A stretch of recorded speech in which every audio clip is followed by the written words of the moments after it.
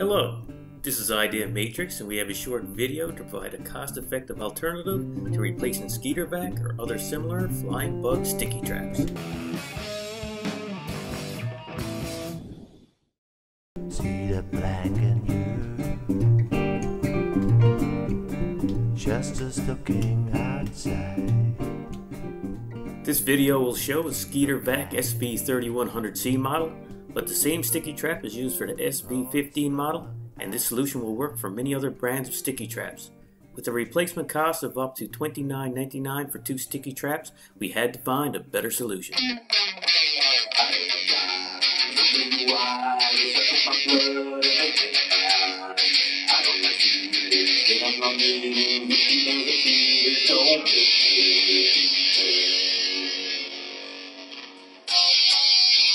Simply reuse the trap that comes with your unit by scraping off the old trap material and adding more using Tanglefoot or a similar product.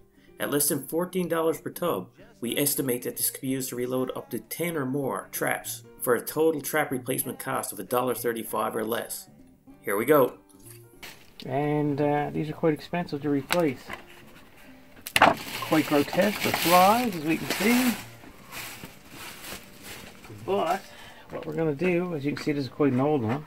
This has already been reused at least uh, once or twice. What we're going to do is we're going to scrape off all of the offending bugs and then we're going to replace it.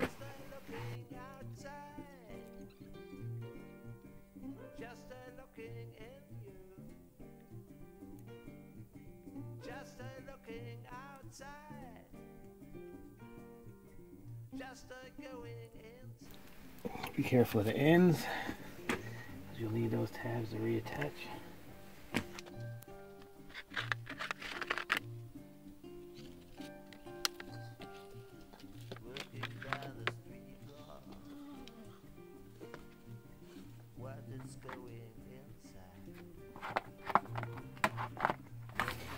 ready to reapply new layer.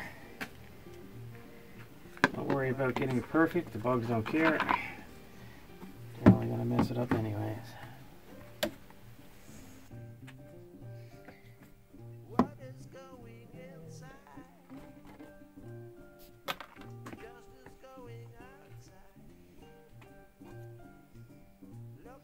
The product here it seems to work really well.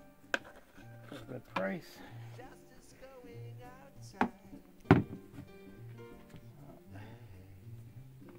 Do is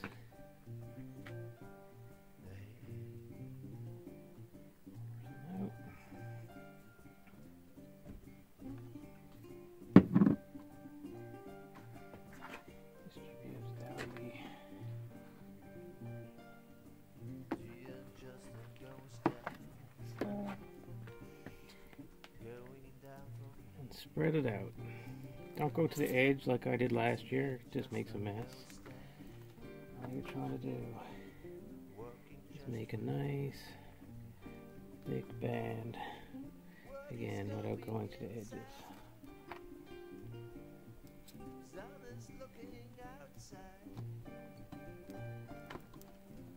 You're doing this for pennies per refill.